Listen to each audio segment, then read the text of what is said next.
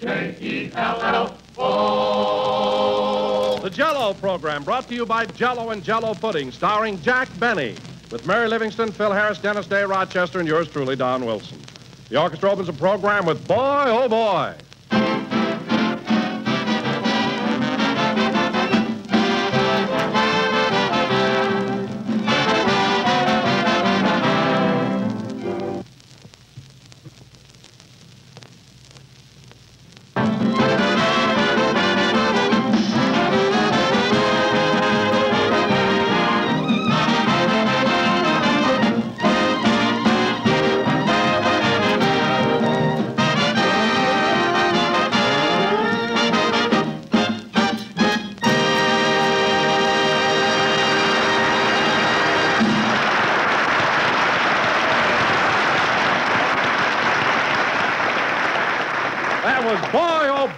Played by the orchestra. Now, ladies and gentlemen, once again, I bring you our master of ceremonies, a man who. Hold it down. Jack isn't here yet. Well, where is he? I just lent Mr. Benny a nickel to make a telephone call.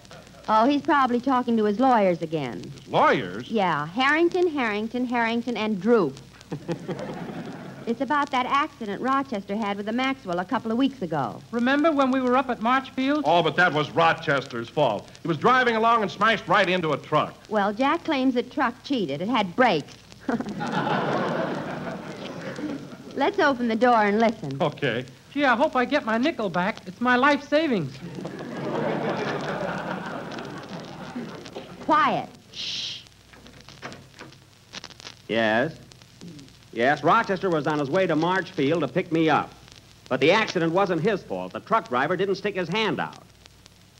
Yes, but. Yes, but. Yes, but. Uh, look, look, who am I talking to? Harrington, Harrington, Harrington, or Drew? It's gotta be Droop. Well, look, Mr. Drew, uh, make a note of this right away. The damages to the Maxwell amount to $158.64. What? How can I lend you my pencil? We're talking on the telephone. Hmm. Four names on the door and no pencil. Well, now look, Drew, I'll tell you what. You get in touch with the trucking company, and if they're willing to settle out of court, what's that, operator? Another nickel for three minutes? Well, well, now look, Droop, you get in touch with the trucking company. If they're willing to settle on a court, it's okay with me, but tell them that $158.64 is what I want, and not a penny less. Goodbye.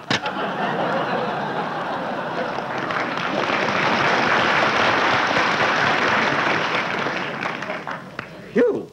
What a workout that nickel got. I'll bet the buffalo lost six pounds. Duck fellas, here he comes. Yada-dee-da-dum, Oh, sorry I'm late, kids. Uh, go ahead, Don. Introduce me. Okay. Uh, who are you talking to, Jack? Mm? Oh, on the phone just now? Oh, uh, oh, that was an old girlfriend of mine from Waukegan. She just got into town. Boy, was she a hot mama. Then why did you call her Droop? The years have taken their toll.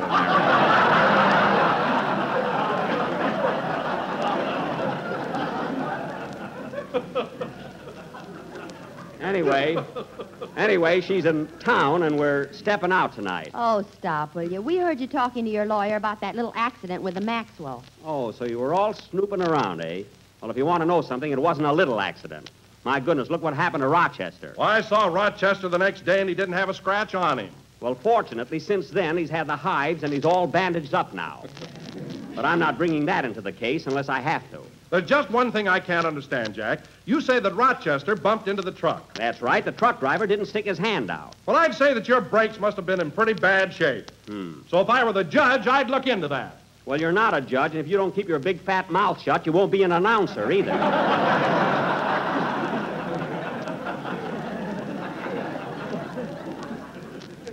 let's settle down, get on with the program.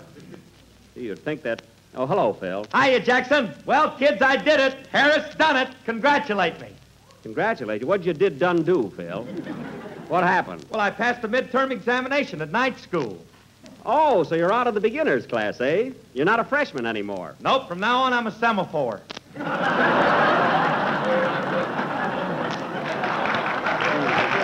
First, first you're a freshman, and now you're a semaphore. Let me ask you something, Phil. When are you going to be a sophomore? Who knows? I may quit school before then. Well, I give up. I'll just let semaphore ride. How were the examinations, Phil? Were the questions very tough? I'll say, here's a sample, Mary. Name the 48 states and give the capital of those that have them. Those that have them, Phil, every state has a capital. And I doubt very much that you answered that question correctly. Oh, yeah? Well, try me out. Ask me one. Okay, what's the capital of Idaho? Boys Town. That's Boise. Boys Town. It's Boise. The reason I remember that is because when I was in vaudeville, Boise, Idaho was one of my best towns. They loved me in Idaho. Then why did they throw baked potatoes at you? They didn't throw them at me. I got paid in potatoes. Get it straight. Say, Mr. Benny, did you get a big salary in those days? Well, I don't like to brag, kid, but I haven't played Boise since 1927, and I've still got half a sack left.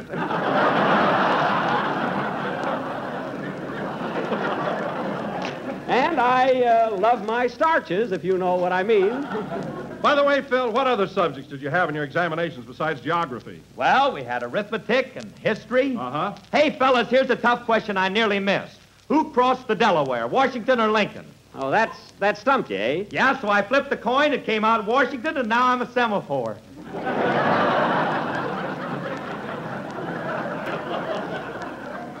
Phil, that word is no, no, I won't tell him. No, now, Phil, let's uh Phil, let's forget about night school and have a band number. Okay. Say, Phil, tell Jack about that new subject you're taking up. Oh, yeah, I forgot to give you the hot news, Jackson. You know what I'm studying this term? French. French. Get a load of this. Je mange la fenêtre. Oh, very good. What does that mean, Phil? I ate the window.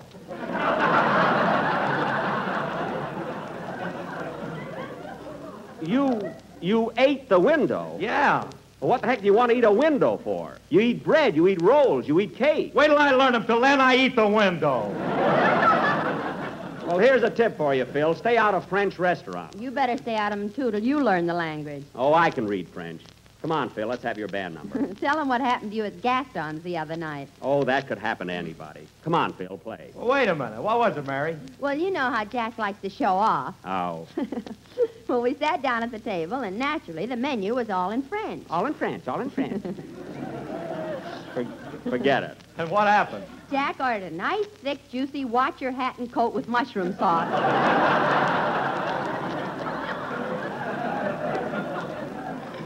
Well, eventually, I got a state. Uh, Go ahead with your number, Phil. I've got to go out in the hall and call up my lawyer. Has your lawyer got a phone? There's a phone in the barber shop downstairs from his office. They'll call him, don't worry. All right, hit it, Phil.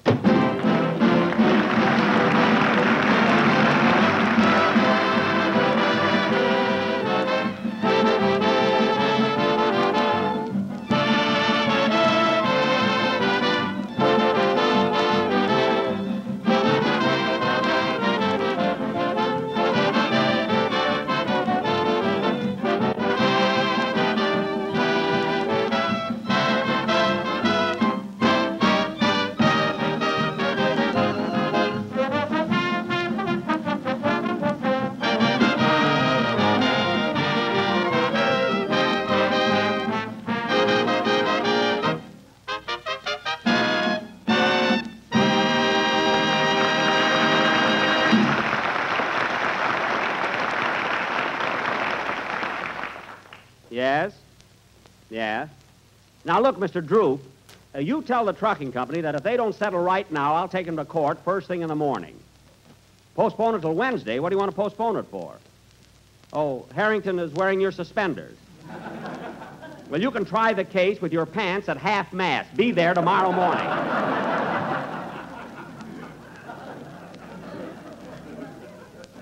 no wonder they call him Droop. Now, Droop, Droop, tell the trucking company. What's that, operator? Tell the trucking company I want $158 to straighten the chassis, $8 for a repair headlights, 64 cents for a wing fatigue on the radiator. Goodbye. Hmm. People don't stick their hands out. They've got to pay. What are you mumbling about? Oh, this darn case has got me all upset. Anyway, that was Hi, Neighbor, played by Phil Harris and his orchestra. Very good, Phil, although it was a little loud. Phil? What? I say it was a little loud. Well, how do you know it was loud? You were out in the hall and couldn't even hear it. I couldn't hear your band. Phil, you play in the Biltmore Bowl of the Biltmore Hotel here in Los Angeles, don't you? Yeah? Well, I know some people who live at the Biltmore that haven't been able to sleep since you opened, and the Biltmore I mean is in Phoenix, Arizona.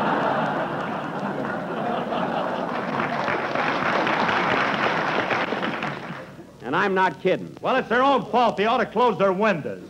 Oh, fine. You know, like I said, they ought to manger la fenêtre. That's eat the window, you semaphore. We're two words ahead of that semaphore there. Now let's get on with the show. Let's let's get on with the show here. Come on. Where? Now let's see. Where? Where are we? Boise, Idaho. We are not. Well, someone just hit me with a potato.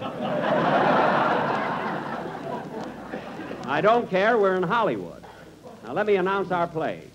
Uh, ladies and gentlemen, for our dramatic offering this evening, the Benny Retreaded Thespians are going to present an original mystery melodrama entitled The Fright Wig Murder Case, or He Died with His Tooth On. Now, I will play the part of Detective Captain O'Benny, as fearless a bloodhound as ever sniffed a clue.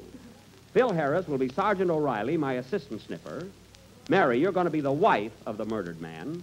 And Dennis, you're going to be the victim. Gee, there's no future in that. I'm going to be your wife. What have I got?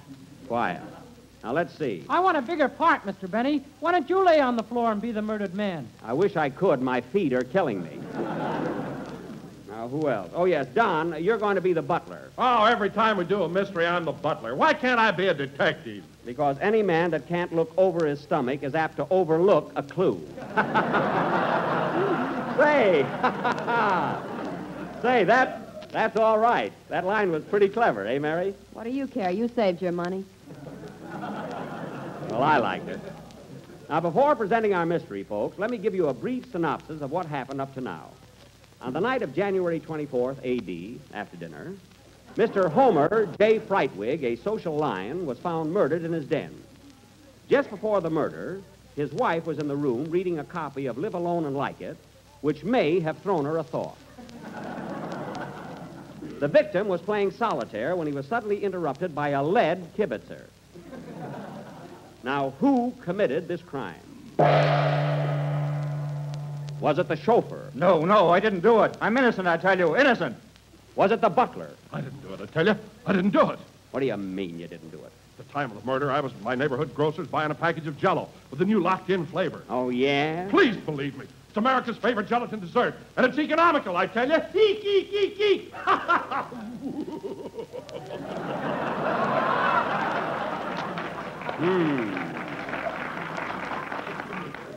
Now, pull yourself together.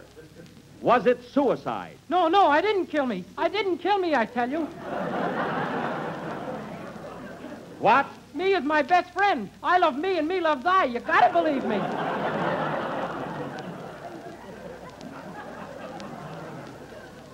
And now the wife, Mrs. Homer J. Frightwig. Did you or did you not kill your husband? I hated him. I loathed him. I despised him. So that night, I. Stop! We can't give it away, folks, but this mystery will go on immediately after a song by Dennis Day. Sing, Dennis. I'm going out and call Harrington, Harrington, Harrington, and Drew.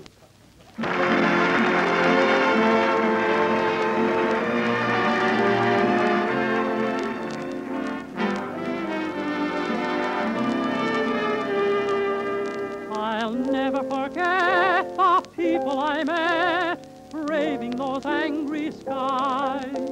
I remember well as the shadows fell, the light hope in their eyes. And though I'm far away, I still can hear them say, Thump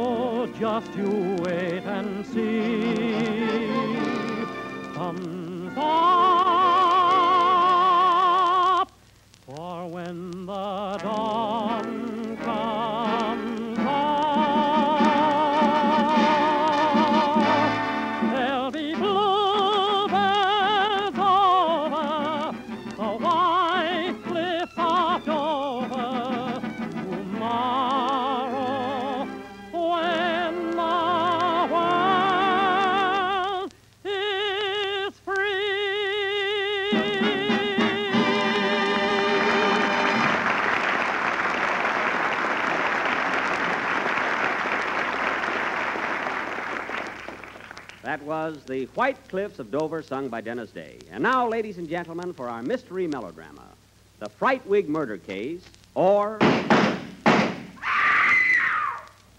Now, as the scene opens, uh, lay down on the floor, Dennis. Uh, you're the murdered man. Lay right there on your back. If I lay on my back, I'll snore. You're getting paid, and you'll stay awake till the program is over. Now, as the scene opens, we find Detective Captain O'Benny and Sergeant Phil O'Reilly in their office at police headquarters. Curtain. Music.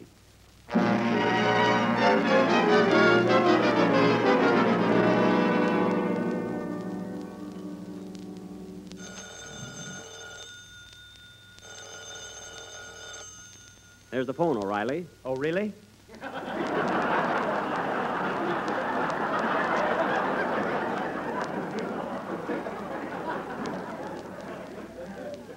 Never mind, I'll take it. Hello, police headquarters. Hello, I want to talk to Detective O'Benny. That's me. What is it? Uh, my name is Mrs. Homer J. Frightwig. I want you to come over to my house right away. My husband has been shot. Oh, really? Is that for me, Cap? I said, oh, really, O'Reilly. Shut up.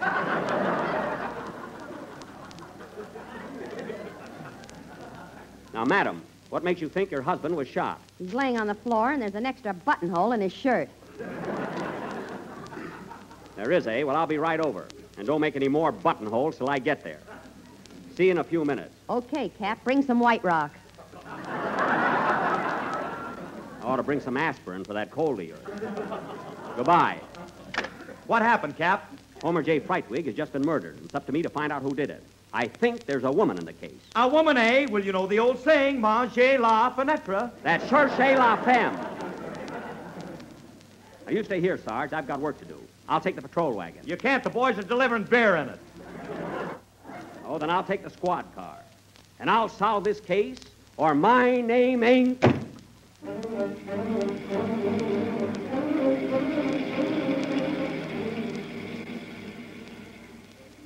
Well, here it is. This is the place, all right. Open up in the name of the law. This is police headquarters. Doggone, I forgot to release the brake.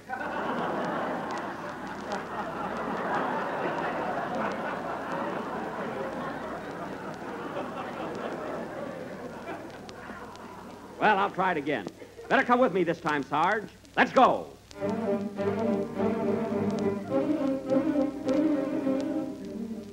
Calling all cars. Calling all cars.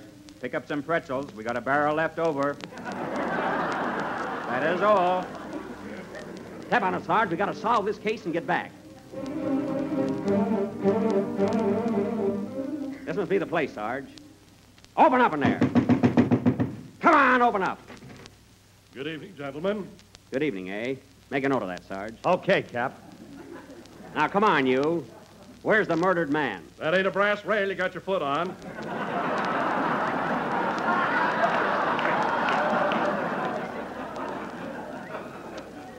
Oh, yes. Uh, pardon me. That's okay, Mr. Benny. Shut up.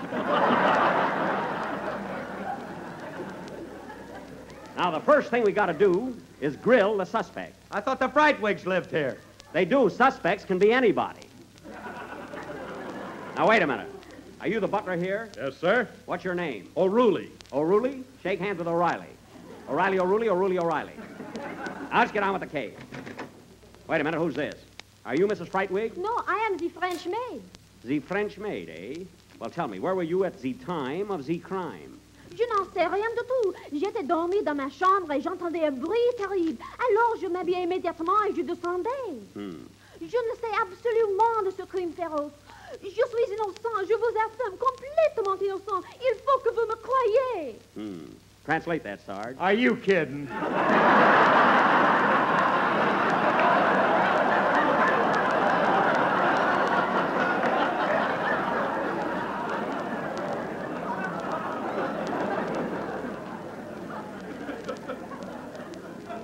Well, you're studying French, aren't you? What was the maid doing tonight? She didn't eat the window, that I know. A fine help you are. Now, let's get to work here. Where is Mrs. Frightwig? Here she comes now.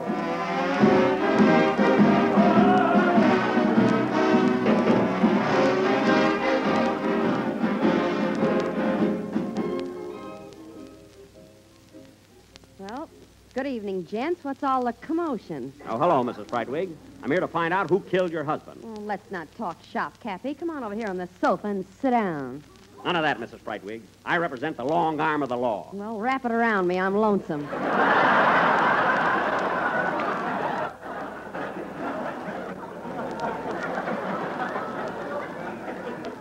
I haven't got time for that. I have, but I'm a married man. Quiet, Sarge. Now tell me, madam, where were you at the time of the murder? Back of a gun, minding my own business. Back of a gun, eh? Then you admit you killed your husband. Sure, I admit it. Uh-huh. And why did you kill him? He was always singing shortening bread. Oh. Mama's little baby loves shortening, shortening. Mama's little baby I know how it goes. Well, I don't blame you, Mrs. Frightwig, but I still have to arrest you in the name of the law. Wait a minute, hold everything. Nobody leave this room. Come in. What do you want here, fellas? Pardon me, but we're looking for Jack Benny. I'm Jack Benny, but you'll have to wait. I'm right in the middle of a play. Well, you'll have to stop your play. This is important. Now, wait a minute, fellas. What's going on here? Who are you? I'm Harrington. I'm Harrington. I'm Harrington. I'm Droop. Oh, my lawyers, eh? Now, look, fellas. I want you to tell you, my good man, that you are in the soup. The what? You're in the soup, the soup, the soup. You're in the soup, the soup, the soup. You tell him, Droop. You're in the soup. You're in the soup. What do you mean I'm in the soup? Well, let's review the facts. Whereas you've got to admit that a truck was hit at a certain arterial junction. Whereas I know that. Look, they they- claim that your chauffeur just wouldn't pull over, or mayhap his brakes wouldn't function. Oh. Whereas they state that your Maxwell was minus an axle, thus knocking our case for a loop.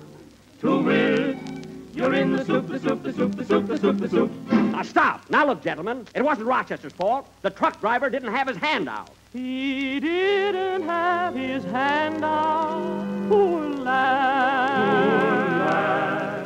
Well, I would say that things for him look bad.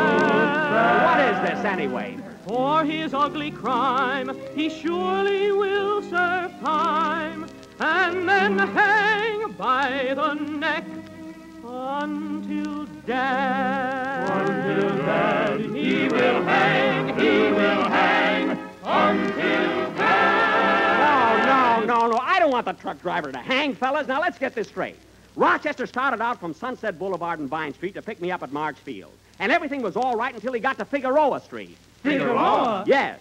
Figaro, Figaro, Figaro, Figaro, Figaro, Figaro, Figueroa, Figaro, Figaro, Figaro, Figaro, Figaro, Figaro, Figueroa, Figaro, Figaro, What's that got to do with Figueroa Street, fellas? Figaro, Figaro, Figaro, Figueroa!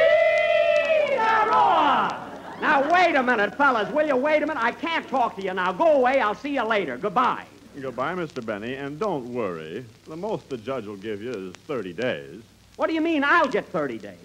Thirty days, thirty days. You'll get Billigadoosh, Shinnamaroosh, Baller, Roller, all thirty days, thirty Listen, for heaven's days. sake, fellas. Thirty days. You'll What's the get silly- Billigadoosh, Shinnamaroosh, Baller, Roller, all thirty days. Now, that's about the silliest.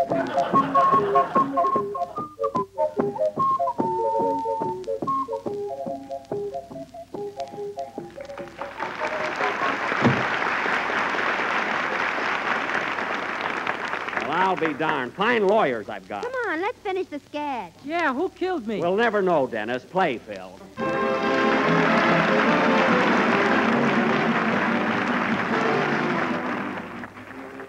Here's a grand jello treat, friends, that your family will add to their list of favorite desserts the very first time they taste it.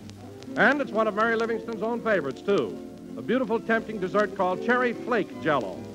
All you need to make it is a can of grapefruit sections and one package of cherry jello. Just dissolve a package of jello imitation cherry flavor in one pint of hot water and grapefruit juice. Turn into a shallow pan and chill until firm. Next, break the glistening jello into tiny flakes with a fork. Then pile lightly into sherbet glasses, garnish with grapefruit sections, and serve. The result will be a tempting blend of canned grapefruit and rich crimson cherry jello. A treat the whole family will want to enjoy time and time again. Many grocers are featuring canned grapefruit and cherry jello all next week. So get both and make up this swell dessert. But remember when you buy to get genuine jello, because jello's new process locks in its extra rich flavor.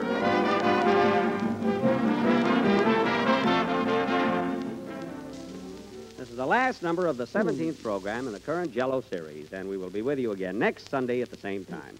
Say, Mary, do you want to come to my house for dinner tonight? Uh, yeah, what are we going to have? Oh, Rochester fixed up some baked potatoes and a nice Virginia ham. Oh, you played Richmond, too. Yeah, I went over big there. Good night, folks.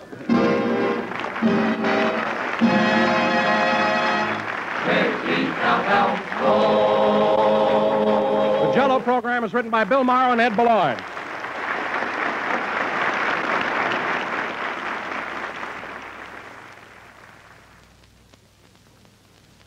Have you plenty of jello puddings in the pantry? If you haven't, better get several packages tomorrow so the family can keep on enjoying those grand pudding treats they love so much. There's Jello chocolate pudding, one of the smoothest, creamiest puddings you ever tasted. And it has such a rich, mellow flavor, especially developed for Jello puddings by the famous Walter Baker chocolate people. Tomorrow, when you order Jello, ask for Jello chocolate, vanilla, and butterscotch puddings. Jello puddings are just like Grandma's, only more so. This is the National Broadcasting Company. KFI Los Angeles. The Jello program brought to you by Jello and Jello Pudding, starring Jack Benny, with Mary Livingstone, Phil Harris, Dennis Day, Rochester, and yours truly, Don Wilson. The orchestra opens the program with Call Out the Marines.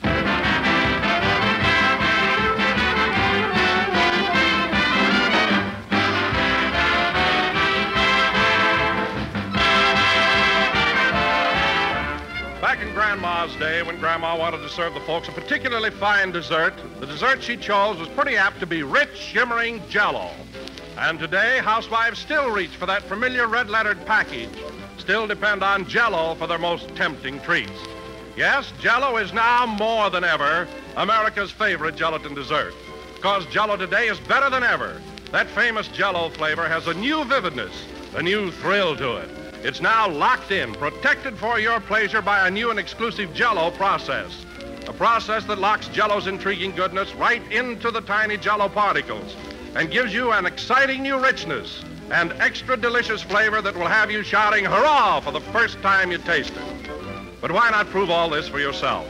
Open a package of jello. Notice that there's no sweet fruity aroma, no sign of escaping flavor. Then dissolve the jello just as you would in making a jello dessert.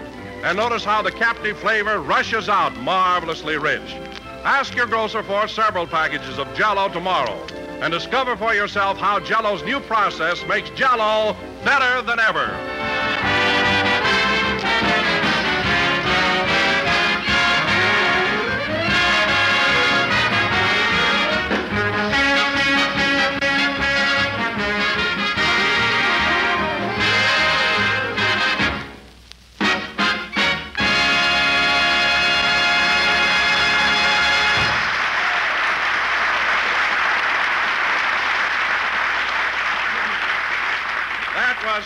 Call Out the Marines, played by the orchestra. And now, ladies and gentlemen, inasmuch as this evening marks the halfway point of our radio season, I think it only fair that we pay tribute to the man who has contributed his invaluable services to the Jello Show. Well, A man upon whose broad shoulders rests the burden of maintaining the high comedy level of this program. gee. And here he is, folks, our sound effects man, Mr. Virgil Reimer.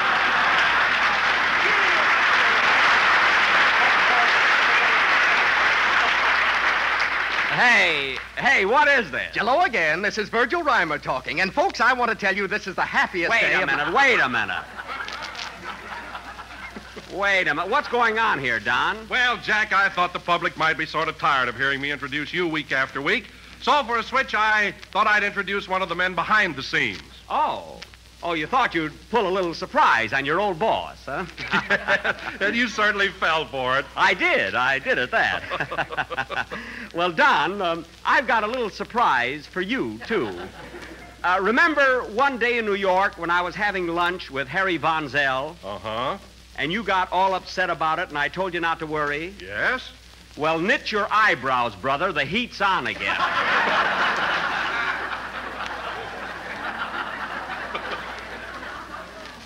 now, let's get going with the program. Okay, Jello again. This is Virgil Reimer talking. And, folks, a funny thing happened to me on the way. To... Virgil!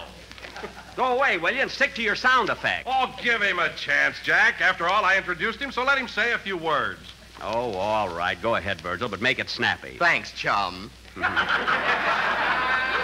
Ladies and gentlemen, a funny thing happened to me on the way to the studio. I was walking down the street. Hmm. And the traffic was something terrible. Oh, for Pete's sake.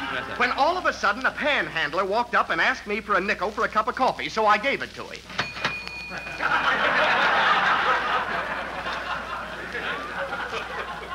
Oh, fine. Now listen, Virgil. Just then, it started to rain. Rain. It's a wonder it didn't thunder. Now cut that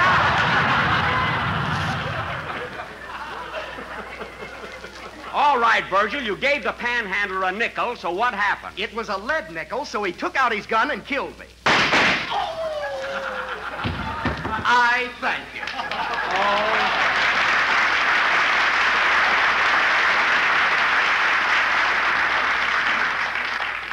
was very clever, Virgil. Now get up off the floor and go back to your clinks and clanks.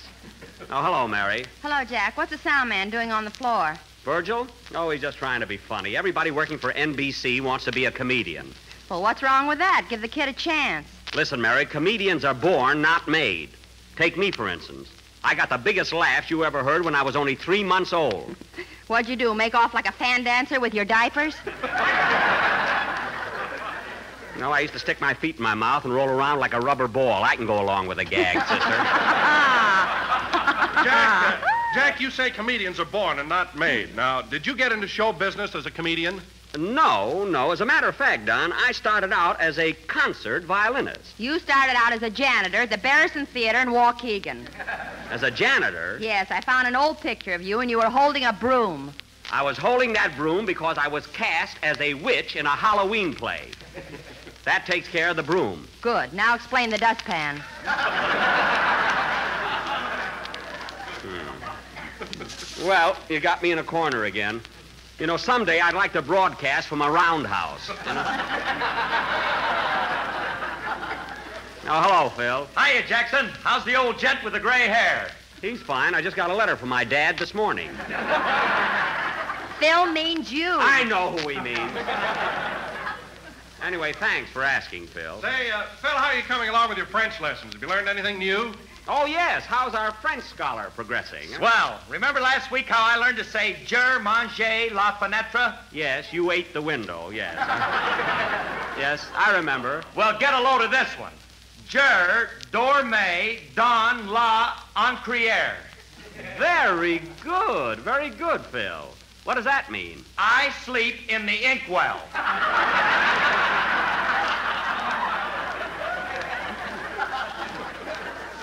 What? What are you talking about? You sleep in the inkwell? He must have had a fight with Alice. Look, Phil, as long as you're studying French, why don't you learn something that makes sense? Jackson, it's a tough language. I gotta take it any way I can get it. All right, sleep in the inkwell, eat the window. It's your life. All I ask is that you don't show off when Humphrey Bogart gets here. Humphrey Bogart. Is he going to be on the program tonight? Yes, we're going to finish the murder mystery we started last week. And Bogart has had a lot of experience along that line in pictures, so I thought he'd be just the right guy for my assistant. Uh, let me get this straight. Humphrey Bogart is going to be your assistant? Yes, that is, he's going to be one of my assistants. Phil will be my first assistant, and Bogart will help Phil. It'll work out fine. Now, Dennis. Yes, please? Hmm. Uh, you, of course, are going to be the murdered man, and you'll have to lay on the floor again tonight. I figured on that, so I wore my old clothes. You can't wear old clothes. You're supposed to be Mr. Homer J. Frightwig, a wealthy stockbroker. Have you seen the market reports lately? That's not the point. Anyway, take this carnation and put it in your buttonhole so you look a little more convincing. And here's another Say, thing. uh, Jack, he's here. Who? Who's here? Oh, well, hello, Humphrey. Hello, Jack. Glad to see you. Ladies and gentlemen, that star of Warner Brothers Pictures, Mr. Humphrey Bogart.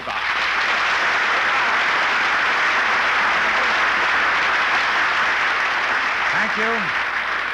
Thank you. Well, Humphrey, it's darn nice of you to come over here tonight and help us solve our little murder mystery. I'm glad to do it, Jack. I heard you play last week, and I figured somebody should do something about it. Good, good.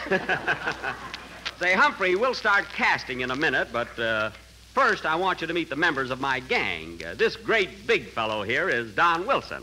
It's a pleasure, Don. Put her there, Humphrey. Out! Hmm, Watch out, Don. He's as strong as a three cent cigar. You ought to know. Quiet. And Humphrey, this is Mary Livingstone, our little comedienne. Uh, say something funny for Mr. Bogart, Mary. Oh, shut up. Well, shake hands with him anyway. Okay. Glad to know you, Miss Livingstone. Put her there. Ouch!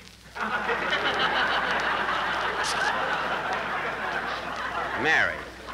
And this is Dennis Day, our young tenor, and Phil Harris, our musical genius. Hiya, fellas. Bonsoir. Come on, Talibou, Humphrey.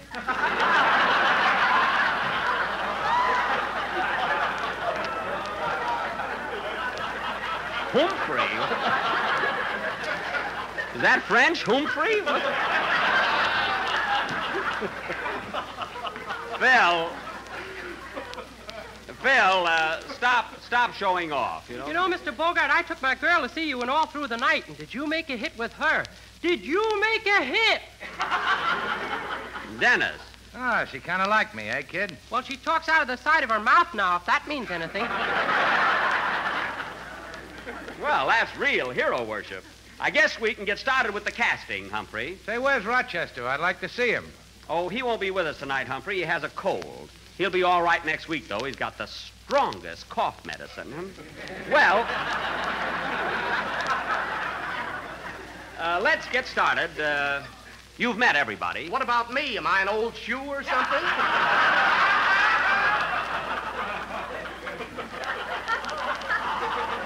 Believe me, Virgil, he's not interested in meeting you. But if it'll make you happy, all right. Humphrey, this is Virgil Reimer, our great sound man. Pleased to meet you, Mr. Reimer. I've admired your work on this program for a long time. You see? Okay, okay. Now let's get on with our sketch. Uh, this evening, ladies and gentlemen, we are going to present the second episode of our mystery melodrama, The Frightwig Murder Case, or That Rug Will Have to Go to the Cleaners. now, Dennis Day will be Mr. Frightwig, the victim. Howdy, folks. Lay down. Mary will be his wife, who misses him now but didn't when she shot him. And Don. Yes, Jack? You're going to be Jurgen, the butler. Only this week, I wish you'd be a little more highbrow. Can you talk with an English accent? Well, I'll try. Good. Ladies and gentlemen, Ladies. the next time you toddle down to your neighborhood grocer, why don't you ask the clerk for a package of Jello? Package? You will find that it comes in six terribly divine flavors: strawberry, raspberry, cherry, orange, lemon, and pip pip.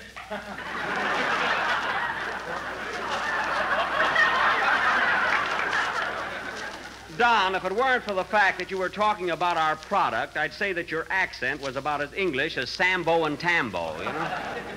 now, where are we? Oh, yes. I, of course, will play the part of Detective Captain O'Benny of Police Headquarters. Phil Harris will be my assistant, and Mr. Humphrey Bogart will be Phil's assistant. Now, in this drama. Just a minute, Jack. Hold it. Would you mind repeating that?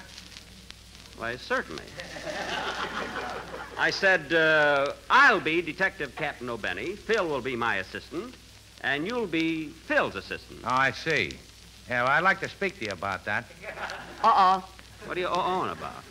Why, what's, uh, what's on your mind, Humphrey? Well, frankly, I don't like the idea of being Phil's assistant. Well, all right, then you can be my assistant, and Phil can be yours. Now, in this drama. Just a second, Blue Eyes.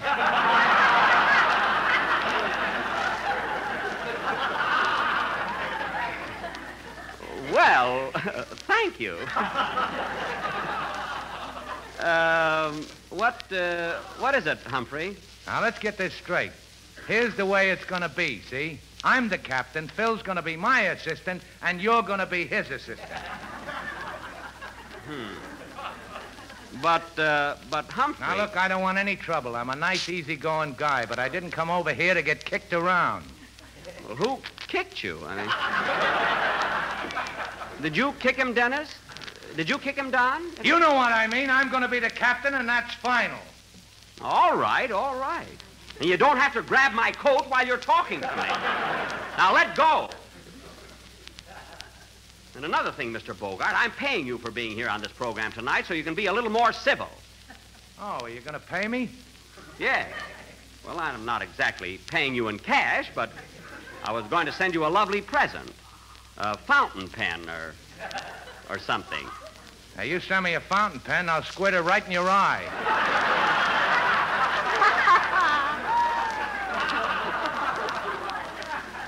Hmm. Is that so? Oh, Jack, let him be the captain. What else can I do?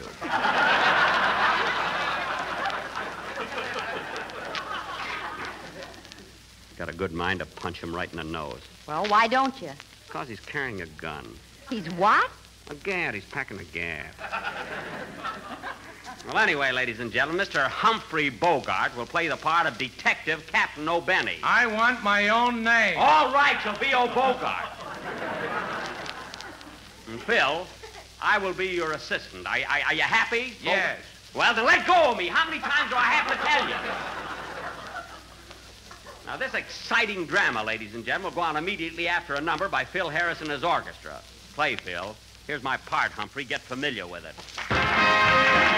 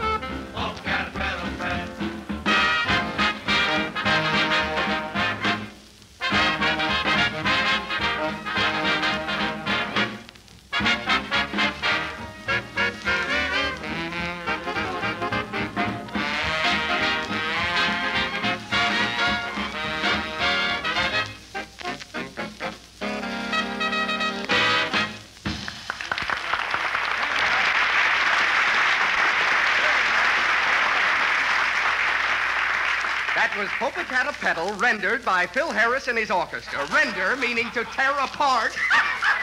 That's a Lulu! Virgil! Now, Virgil, get away from that mic. And stop trying to be funny on my program. What's the matter? Do you see the handwriting on the wall?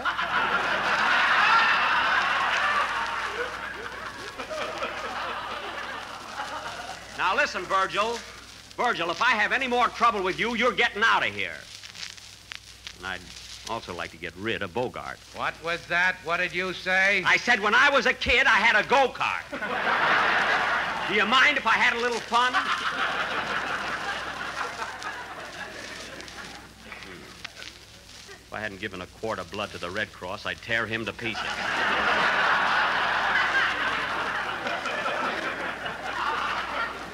A quart of blood? Yes. You've been down there ten times and haven't even found a vein yet.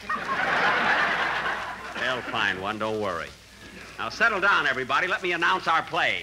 Pardon me, Jack. I'm announcing it. All right, announce it. Boy, I never saw such a ham. Ought to have my head examined for inviting him over here. And will you cut out that mumbling? Listen, I've been talking to myself for 20 years. I'm not going to stop now.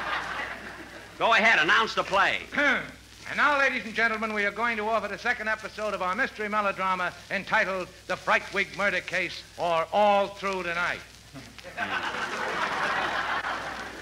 Had to give his new picture a plug. I like the picture, though, but what I could have done with his part, boy. Jack, pipe down. Oh, poof. Now, as you may remember, last week, Mr. Homer J. Frightwig was found murdered in his den. He was shot several times. In fact, his chest looked like a well patronized punchboard. Boy, I'd have gotten a yell with that line. A yell. They'd have screamed at me. Virgil!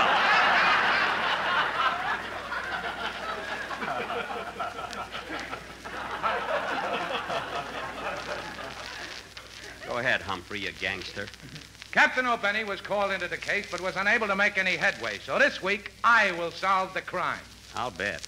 Go ahead, you thug. As the scene opens, we find Cap Detective Captain O'Bogart and his two assistants. Had to make a mistake. Had to make a mistake.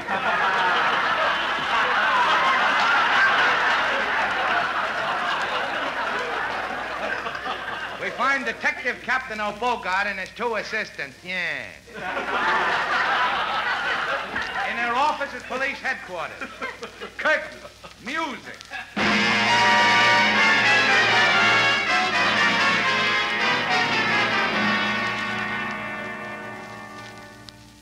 Oh, Sergeant O'Harris. Yes, Captain. What's new on the Fenchel robbery? Did you find out if the chauffeur had anything to do with it? Well, it couldn't have been the chauffeur, Cap. He had an airtight alibi. Alibis, alibis. This is the third month of the investigation, and we're no further than we were when we started.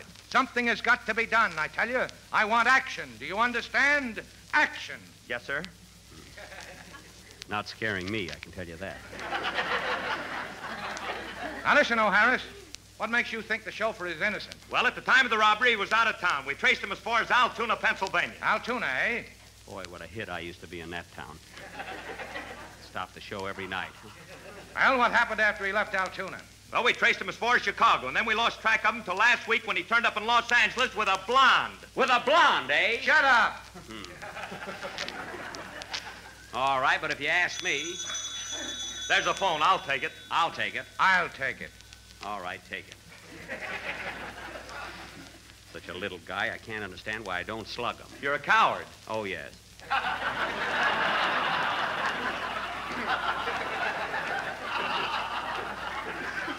oh, well. Hello? Hello? Police headquarters. Captain O'Bogart speaking. Hello, Bogey. This is Mrs. Homer J. Frightwig. Oh, yes, yes. What is it, Mrs. Frightwig? Listen, Cappy, why don't you come over and investigate my husband's murder? Ah, it's no use. I can't find any clues. Well, drop in anyway. It's a rainy afternoon. Come on over. Okay, madam. But I'm going to find out who killed your husband. Well, if you're real nice, I'll tell you. Come on over. Yes, ma'am. I'll be there in a few minutes. Swell. Bring some olives. I've got the toothpicks. So long. So long. Who was that, Cap? Yeah, who was it? Fine part I've got.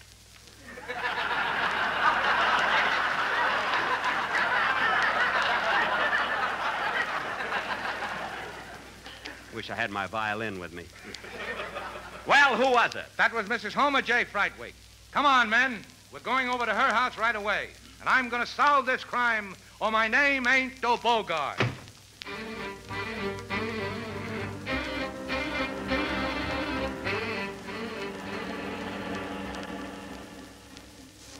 Calling all cars. Calling all cars. Enjoy your ride. You'll soon be walking. that is all.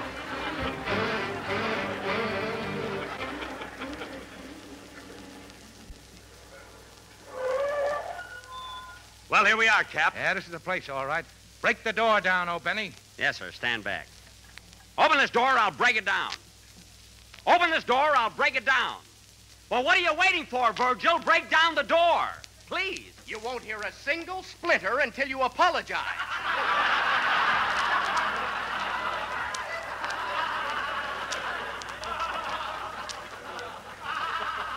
All right, I'm sorry I bawled you out. Now go ahead with the door.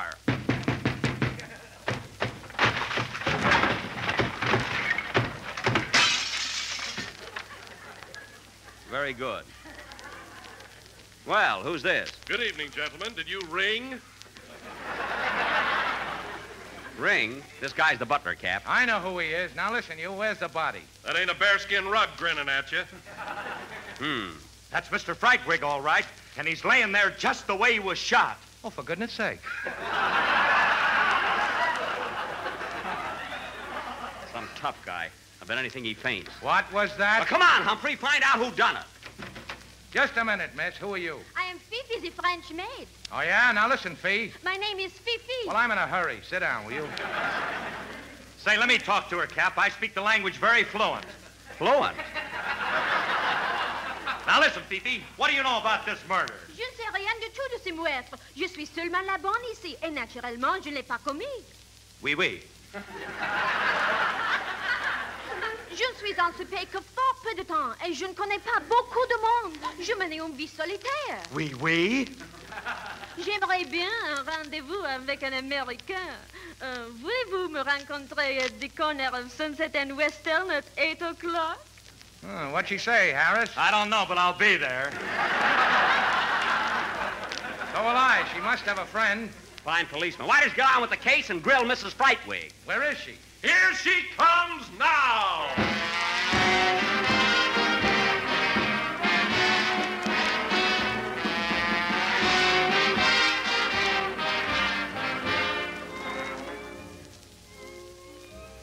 Well, good evening, gents. Pull up my husband and sit down. Now, listen, Mrs. Frightwig. You keep out of this. All right, all right. I'm going to take a look around this house, see if I can find some clues. Now tell me, Mrs. Frightwig, what do you know about this murder? Grill me, Cap, grill me. What's on your mind? Now I want the truth. Did you shoot your husband? Couldn't have been Cupid. There's no arrows in him. I don't believe you killed him, Mrs. Frightwig. And we're going to stay right in this house until we find out who committed the crime. Okay, boys, how do you like your eggs? Mm?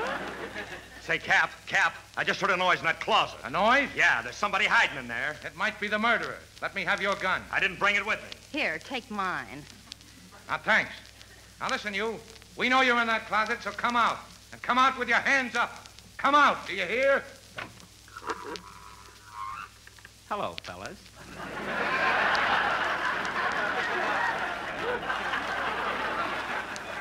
Surprised? Oh, it's you.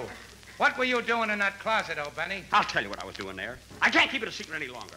I committed that crime. I murdered Mr. Homer J. Frightwig. What are you talking about? I killed him, I tell you. Killed him, killed him. He was a dirty rat, and he had it coming to him. And I'm glad I did it, I tell you.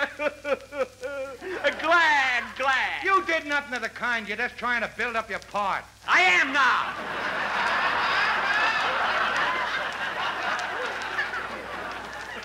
Come on, fellas.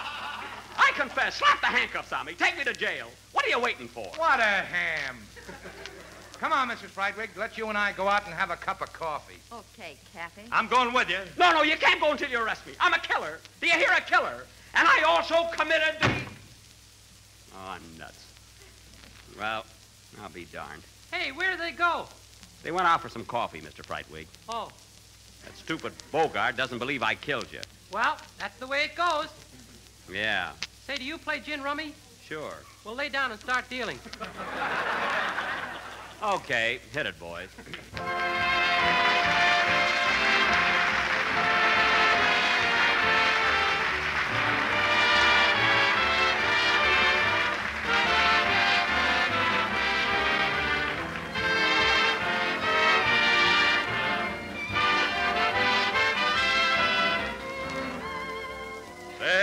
You be proud? Won't the family be pleased when you serve this grand dessert?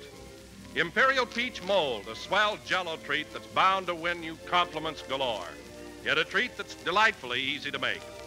All you do is simply dissolve one package of orange jello in one pint of hot water and peach juice and chill until slightly thickened.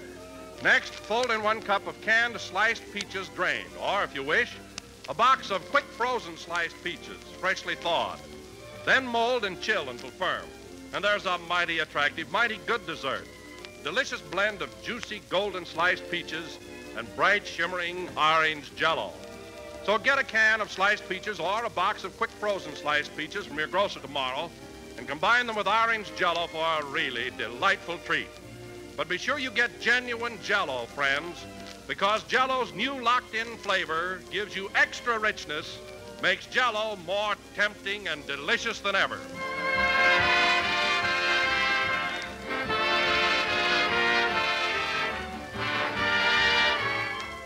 This is the last number of the 18th program in the Courage Jello series, and we will be with you again next Sunday at the same time. Well, Humphrey, thanks very much for coming up here tonight. You kind of took over the program, didn't you? I did at that. No hard feelings, Jack. No, no, no. You were very amusing. I'll take him out in the alley and give him a couple of pokes. What was, what was that? I said good night, folks. I always say that. good night, folks.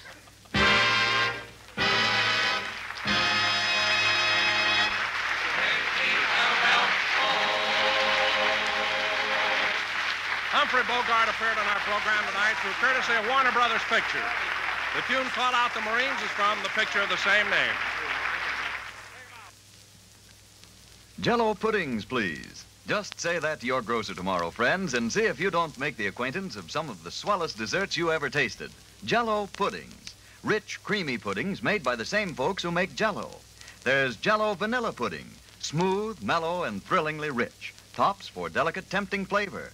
And not only grand as a pudding, but perfect as a creamy filling for pies, tarts, and cakes. So tomorrow, when you order Jello, get Jello puddings, too. They're just like Grandma's, only more so. The Jello program came to you from Hollywood. This is the National Broadcasting Company. KFI, Los Angeles.